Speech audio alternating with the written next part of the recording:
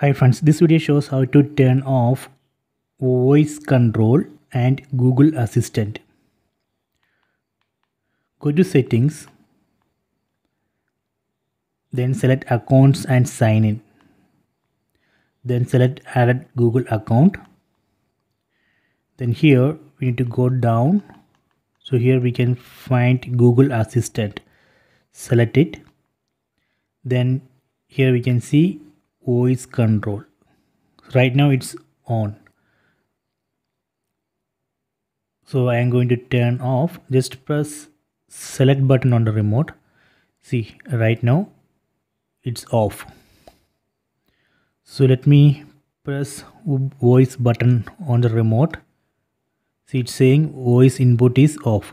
So this way we can turn off voice control and google assistant in this google tv so if you want to turn on just press select button on the remote. So now it's on. Now let me press voice button. See. So this way we can turn on or off voice control and google assistant